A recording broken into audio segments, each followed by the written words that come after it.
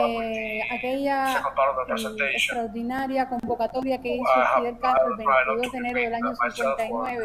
tres semanas después del triunfo de la revolución. Yo creo que es el primer momento de eh, una operación de largo alcance eh, a los periodistas de todo el mundo para desbaratar una campaña calumniosa generada en el Congreso de los Estados Unidos a propósito de, los juicios a los asesinos y torturadores de Batista y que es de alguna manera un precedente, hablando en términos del inicio de la Revolución Cubana, que sabemos que las fake news y todas estas operaciones de mentira tienen muy larga data. Es decir, en el día uno de la Revolución Cubana, este país enfrentó la calumnia, la falsificación de los hechos y los fake de la época. Hemos visto esta historia repetida una y mil veces en más de 60 años solo que ha cambiado la época de la mano de una revolución sociotecnológica bajo control estadounidense profundamente asimétrica y que, como admiten muchos expertos, ahí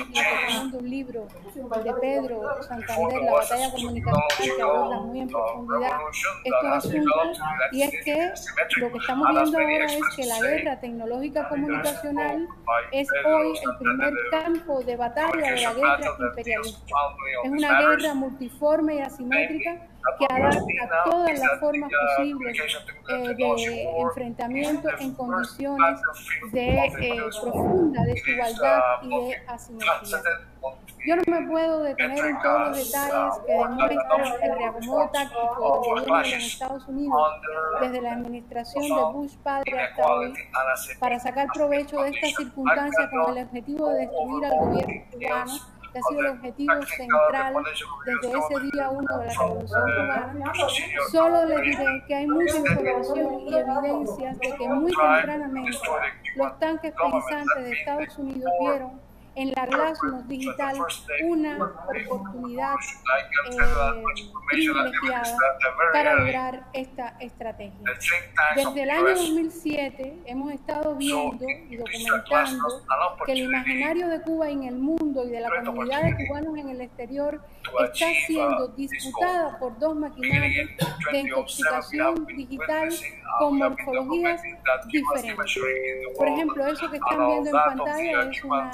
un gráfico de redes que cualquier investigador en este campo puede hacer con las tecnologías y las herramientas que existen. Pues nosotros hemos estado viendo que hay dos tipos de redes eh, que están eh, de alguna manera que son, son el núcleo duro de este sistema de eh, confrontación con la revolución cubana y de deslegitimación de la revolución cubana. Hay unas redes centralizadas, que es la imagen que tienen ahí a la izquierda, of confrontation with the revolution organizador principal se ubica durante la administración de Obama, que fue un momento de emergencia, un sistema de medios privados digitales de empresas mediáticas eh, profesionalizados, dirigidos sectores también profesionalizados, con poco público, realmente uno lo busca en, los, en las herramientas de posicionamiento en Internet, se da cuenta que, que tiene el secundario de la información sobre Cuba, pero que tienen gran peso en la construcción de consenso, eh, sobre todo socializadas con un discurso que sobredimensiona los valores profesionales periodísticos, pero que está dirigida y que trabaja de manera y bueno, están distribuidas que surgieron fundamentalmente durante la de Trump. A partir del año 2017 se ubica la fecha entre febrero y abril de 2017 que lleva a la escuela de Bannon. Steve fue el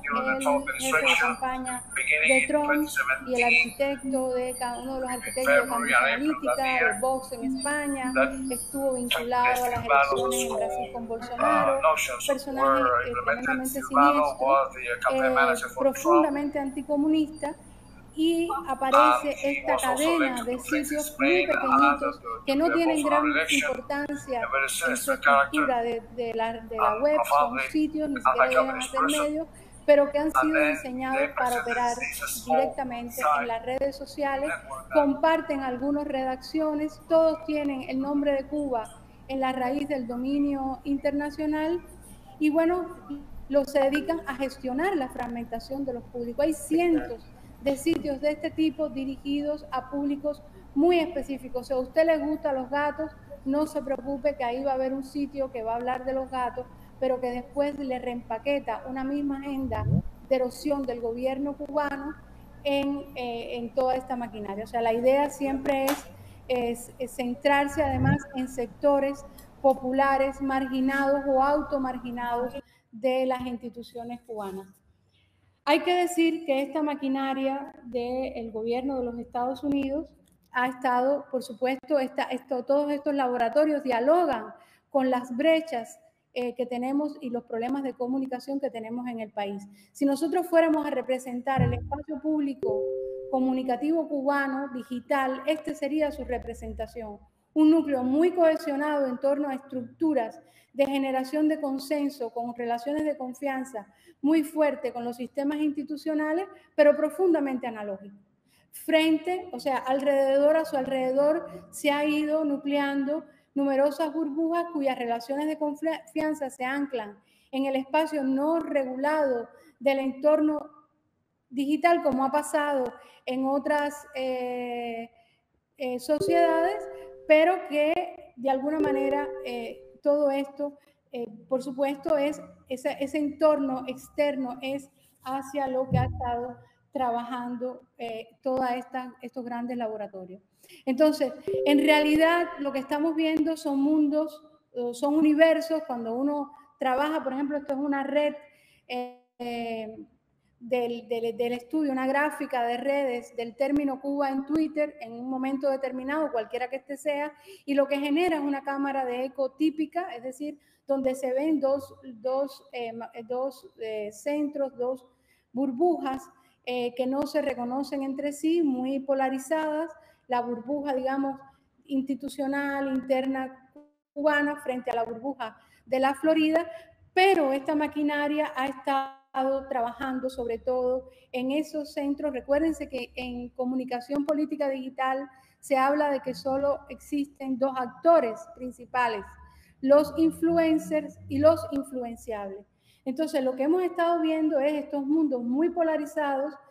que en Cuba no siempre logramos ver como un conjunto, atrapados en, prácticas analógicas en el caso nuestra, y esta brecha es a la que apunta el tableteo de esa maquinaria tóxica fruto de laboratorios de alta tecnología ya aprobados en otros escenarios, incluyendo Estados Unidos. Hay mucha información sobre los acontecimientos del 6 de enero del asalto al Capitolio, que tiene mucha semejanza a lo que hemos estado viviendo aquí. Eso está documentado y pasó en, los propios Estados Unidos.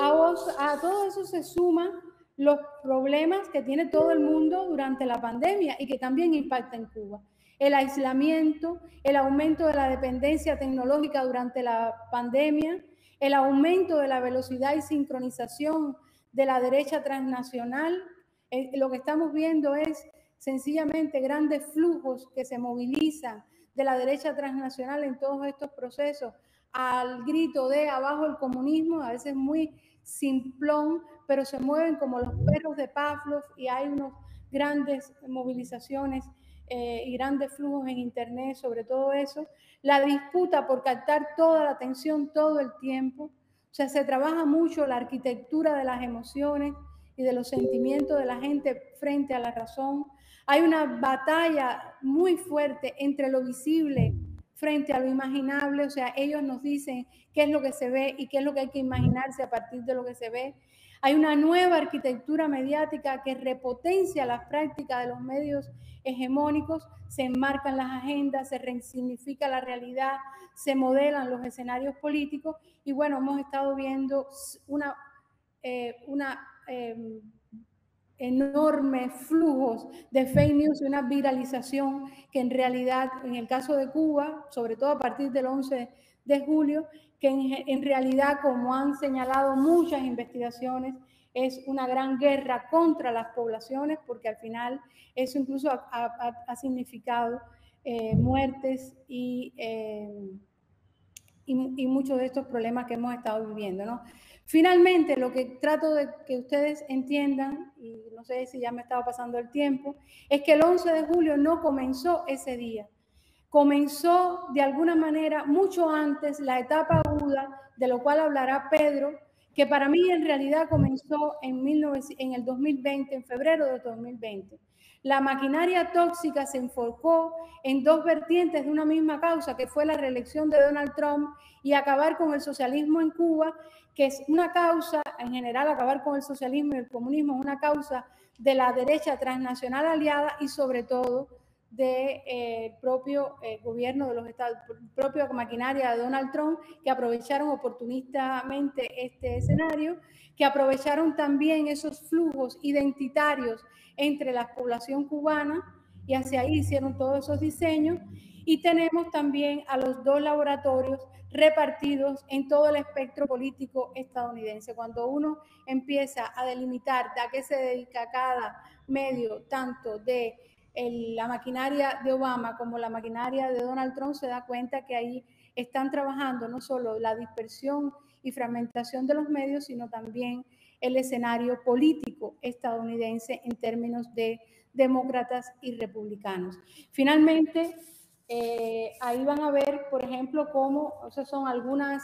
titulares de febrero del 2020, cómo ya está armado el diseño de la fase aguda que veremos eh, por supuesto, ya en su expresión extrema el 11 de julio, con la campaña Crisis en Cuba, hambre, represión y coronavirus. Esas municiones semánticas, como ustedes ven en esos titulares de febrero, están así expresadas. El pequeño detalle, compañeros, es que el primer caso de coronavirus en Cuba se detecta el 11 de marzo del 2020, es decir, un mes después. Pero ya los diseños, la maquinaria, la el, diseño para la modelación del escenario político, que además se logra, como ustedes saben, en muy poco tiempo, en muy poco tiempo fabricaron un presidente eh, usurpador como Guaidó, que, ha terminado siendo el amerreír mundial, pero también en dos meses fabricaron eh, un personaje como eh, Bolsonaro. Entonces, para terminar, y ya creo, aquí cierro, agradecerles a Casa de las Américas, yo siento por la convocatoria que se ha hecho, por los temas que se van a discutir, que estamos hablando de una segunda operación verdad para nuestro país.